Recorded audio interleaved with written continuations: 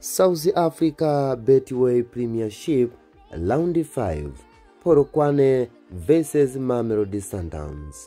So now I'm going to see I show you the five last matches for Polokwane and then I move then I'm going to show you the five match for the uh, for the Mamelodi Sundown then I'm going to show you the head to head five match for the boss team and now I start for the Polokwane on the five match.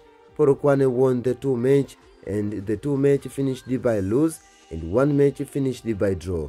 And now we're going to see the five last match for the Mamelodi Sundowns.